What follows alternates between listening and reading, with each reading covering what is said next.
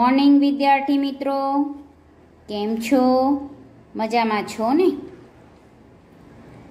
જનાબ Babubhai Sopariwala, girls primary school, ધોરણ બે, online એજ્યુકેશનમાં આપ સૌનું હાર્દિક સ્વાગત છે. આજે તારીખ સત્તર આઠ બે હજાર એકવીસ, વાળ મંગળવાર આપણો વિષય છે ચિત્રકામ. ચિત્રકામમાં આજે આપણે વસ્તુ ચિત્ર એટલે કે પદાર્થ ચિત્ર. બરાબર? એમાં આપણને કેતન ચિત્રકલામાં ભૌમિતિક આકારો આપ્યા છે.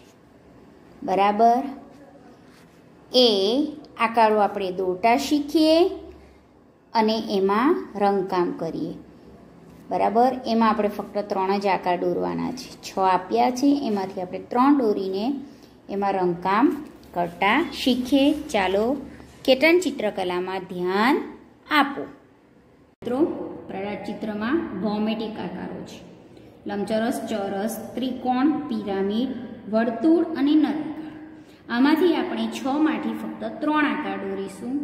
તો પહેલાં આપણે દોરીશું ચોરસ. ના, પહેલાં આપણે દોરીશું. સોરી આપણે લંબચોરસ દોરીશું. ચોરસ નથી દોરવું, કારણ કે પછી ત્રણ આકાર આપણા વ્યવસ્થિત આવશે નહીં. આકારો મોટા દોરજો. પહેલાં ચિત્ર ઝાંખું જ દોરવાનું.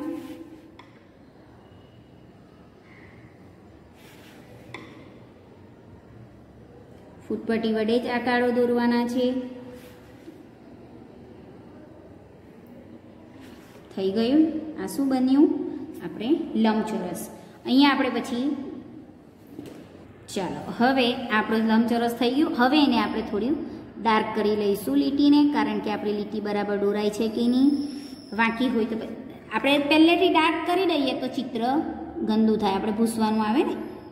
કોઈ લીટી આમ તેમ થઈ જાય.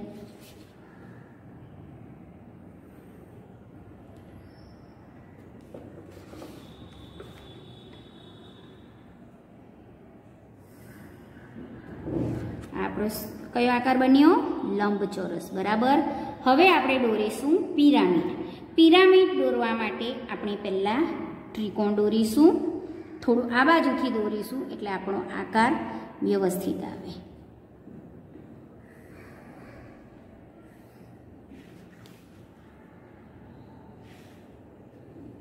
બરાબર, સેન્ટરમાં આપણે કરી દઈશું.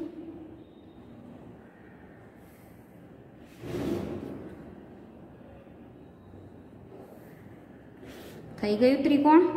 હવે પિરામિડ દોરવા માટે આ નીચેની લીટી થોડી, આ આપણે ત્રિકોણાકાર જેવો ભાગ કરવાનો છે ત્રાસી લીટી કરવાની છે. એટલે આ વચ્ચેથી આપણે ઝાંખી લીટી દોરીશું. ઊભી ઊભી લીટી દોરીશું. એને થોડી આપણે ત્રિકોણથી લાંબી લઈશું. આ દેખાય છે તમને? ઝાંખી જ દોરવાની છે બાળ મિત્રો ડાર્ક દોરવાનું નહીં, પહેલાં ચિત્ર હંમેશા ઝાંખું. હવે આ બંને છેડાને આપણે જોડી દઈશું. ત્રાસી લીટી આવશે. હમણાં તમને થોડું ઝાંખું દેખાતું હશે, બરાબર જોવાતું નહીં હશે.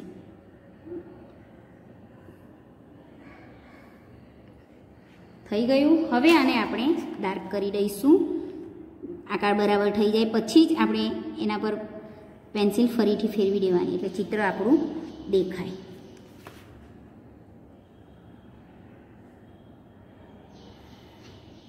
થઈ ગયું?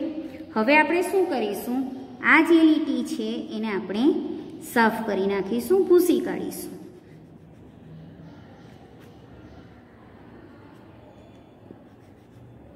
આ આપણે પિરામિડ તૈયાર કર્યું, બરાબર? આ ચિત્ર આપણે તૈયાર હવે આપણે આ વર્તુળ અને નળાકાર, એમાંથી આપણે વર્તુળ વર્તુળ દોરીશું. વર્તુળ એટલે કે ગોળ. તમારા મમ્મીની બંગડી હોય, એ લઈને મૂકીને અંદર વ્યવસ્થિત તમારે પેન્સિલ ફેરવવાની છે. બંગડી મૂકો તો બંગડી હલવી જોઈએ નહીં. થઈ ગયું? બની ગયા ત્રણે ત્રણ ચિત્ર.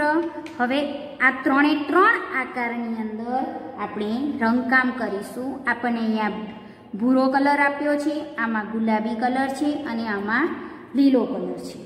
તો આપણે કરીશું પહેલાં ભૂરો કલર. આ તમને ભૂરો કલર તો જોવાય જ છે ને? પણ આપણે આવો શેડેડ કલર નથી કરવાનો. આપણે તો જે રીતે રંગ કરતા આવ્યા છીએ, એ જ રીતે આપણે રંગકામ કરીશું, બરાબર? તો પહેલાં આપણે ધાર ઉપરથી જ આપણે રંગ કરીશું.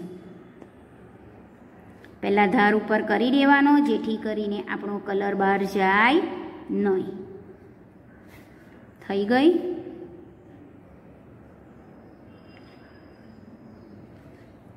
ચાલો બાળ મિત્રો, આપણું આ લંબચોરસ તૈયાર થઈ ગયું. હવે આપણે પિરામિડની અંદર કલર કરીશું. આમાં પણ આપણે, આમાં શેડેડ બતાવ્યો છે, આપણે એ રીતે કરીશું નહીં. બરાબર?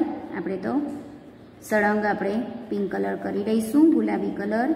પહેલાં આપણે ધાર ઉપરથી જ કરીશું. ચલો બાળ મિત્રો, આ પિરામિડમાં આપણે ગ્રીન કલર સોરી, ગુલાબી કલર કરી દીધો. હવે આપણે વર્તુળ. વર્તુળમાં આપણને લીલો રંગ આપ્યો છે. તો એમાં પણ આપણે ધાર ઉપરથી ઝાડના પાનનો રંગ કરવાનો છે. ઝાંખો લીલો નથી કરવાનો, એ તો તમને ખબર પડી ગઈ ને? પહેલાં આપણે ધાર ઉપરથી જ રંગ કરીશું, જેથી કરીને આપણો કલર બહાર નહીં નીકળે. બાળ મિત્રો, આ વર્તુળમાં પણ આપણે લીલો રંગ કરી દીધો. તમારે પણ કેટન ચિત્રકલાની અંદર જ પાના નંબર ચૌદ ઉપર જ દોરવાનું છે. બરાબર? લંબચોરસ દોરજો, પિરામિડ દોરજો અને વર્તુળ દોરજો. આપણે સૌ પ્રથમ આકારો તો કોરા ચોપડામાં દોરી દીધા છે ને? ફક્ત આમાં જ દોરવાનું છે. કેતન ચિત્રકલામાં જ ત્રણ આકાર જ દોરવાના છે. છ નથી દોરવાના બાળ મિત્રો. સૂચના પ્રમાણે જ આપણે કામ કરવાનું છે. તો વ્યવસ્થિત દોરજો અને રંગ કામ કરજો. આવતા તાસમાં આપણે ફરી મળીશું. Thank you